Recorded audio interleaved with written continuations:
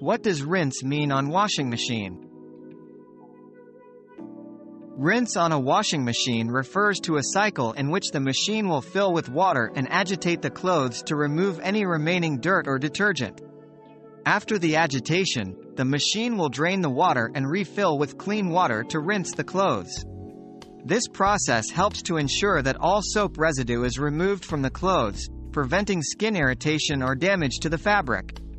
Some washing machines may offer multiple rinse cycles for heavily soiled or sensitive items.